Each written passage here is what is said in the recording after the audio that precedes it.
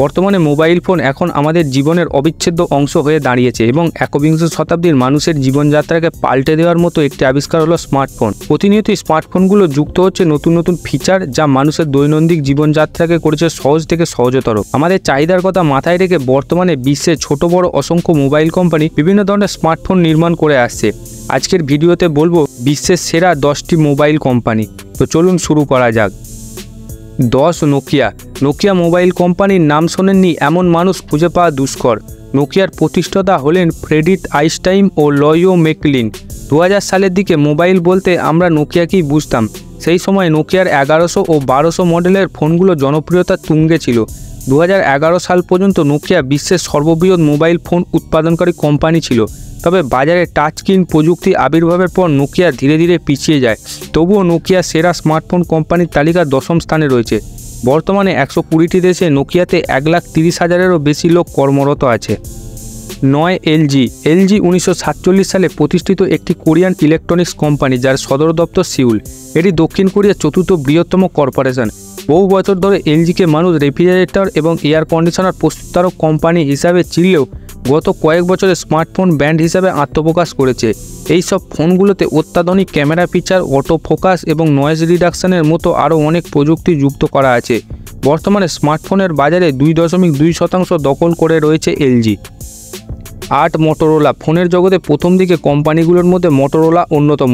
শুরুর দিকে শুধু বাটান ফোন দিয়ে কাজ করলেও দু হাজার এগারো সালে মোটোরোলাকে কিনে নেয় চীনের কোম্পানি লেনেভো মোটোরোলাকে অধিগ্রহ করেই একে বিশ্বের অন্যতম মোবাইল ও স্মার্টফোন নির্মাতা হিসেবে গড়ে তোলে চায়নার এই tech giant.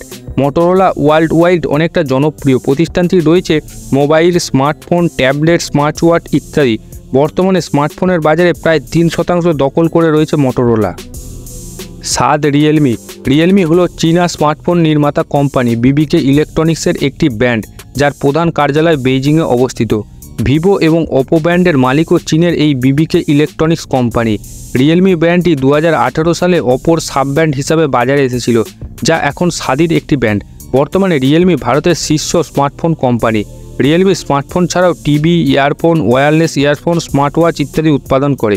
বর্তমানে স্মার্টফোনের বাজারে প্রায় তিন শতাংশ দখল করে রয়েছে এই ব্র্যান্ডটি। ছয় ভিভো। ভিভো মোবাইল হচ্ছে একটি চীনের বহুজাতিক প্রযুক্তি সংস্থা যারা স্মার্টফোন ও সফটওয়্যার ও স্মার্টফোনের বিভিন্ন যন্ত্রপাতি উৎপাদন করে থাকে। এটি দু হাজার নয় সালে বিবিকে ইলেকট্রনিক্সের সাব ব্র্যান্ড হিসাবে প্রতিষ্ঠিত করা হয়েছিল। এই ব্র্যান্ডটি বিশ্বের সবচেয়ে দ্রুত বর্ধমান স্মার্টফোন কোম্পানি। বর্তমানে স্মার্টফোন বাজারে প্রায় সাত দশমিক পাঁচ শতাংশ দখল করে রয়েছে ভিভো। পাঁচ ওপো চায়না ভিত্তিক মোবাইল ফোন ব্র্যান্ড ওপোর মালিক বিবিকে ইলেকট্রনিক্স। দু হাজার এগারো সালে প্রতিষ্ঠিত এই ব্র্যান্ডটি গ্রাহকদের চাহিদা ও সুবিধার কথা বিবেচনা করে বাজারে স্বল্প মূল্যে উন্নত ক্যামেরার ফোনগুলো নিয়ে এসে স্মার্টফোনের বাজারে জায়গা দখল করে নিয়েছে। স্বল্পোন্নত দেশগুলো এই বিশেষ করে স্বল্প আয়ের মানুষদের এই ব্র্যান্ডটি দারুণ জনপ্রিয়। এছাড়া বলিউড তারকাদের দিয়ে মার্কেটিং করিয়ে অপো ভারতের শক্ত অবস্থান তৈরি করেছে। বর্তমানে স্মার্টফোন বাজারে প্রায় আট দশমিক এক শতাংশ দখল করে রয়েছে অপো।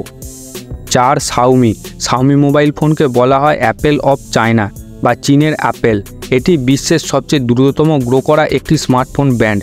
দু হাজার দশ সালে চীনের লেই জুনের হাত ধরে সাউমি ব্র্যান্ডের আত্মপ্রকাশ পায়।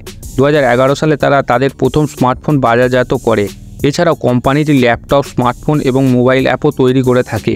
বর্তমানে সারা বিশ্বব্যাপী সাউমি মোবাইল ফোন ব্যবহার হয়ে যায়। এর মধ্যে ভারত, ব্রাজিল, সিঙ্গাপুর, তুরস্ক এবং এশিয়ার বিভিন্ন দেশে এর শক্তিশালী উপস্থিতি রয়েছে। বর্তমানে স্মার্টফোনের বাজারে প্রায় চোদ্দ শতাংশ দখল করে রয়েছে সাউমি তিন হুয়াওয়ে উদ্ভাবনের দিক থেকে বর্তমানে হুয়াওয়ে বিশ্বের অন্যতম সেরা একটি স্মার্টফোন কোম্পানি উনিশশো সাতাশি সালে প্রতিষ্ঠিত চায়নার এই কোম্পানিটি বিশ্বের একশো সত্তরটি দেশে ব্যবসা রয়েছে। হুয়াওয়েতে অসাধারণ উদ্ভাবনী ক্ষমতা একে খুব দ্রুত বিশ্বের শীর্ষ স্মার্টফোন নির্মাতা কোম্পানির একটিতে পরিণত করেছে। উদ্ভাবন ও গবেষণা ক্ষেত্রে দু হাজার ষোলো সালে কোম্পানিটি তার আয়ের ষোলো শতাংশ ব্যয় করে। বিশ্বের প্রথম স্মার্টফোন কোম্পানি হিসেবে দু হাজার আঠারো সালে ওয়াইওয়েতে লেইকা ট্রিপল ক্যামেরাযুক্ত ফোন পি টোয়েন্টি ও পি টোয়েন্টি প্রো বাজারে নিয়ে আসে। বর্তমানে স্মার্টফোনের বাজারে প্রায় পনেরো শতাংশ দখল করে রয়েছে ওয়াইওয়ে দুই অ্যাপেল অ্যাপেল হচ্ছে আমেরিকার বিখ্যাত বহুজাতিক প্রযুক্তি কোম্পানি।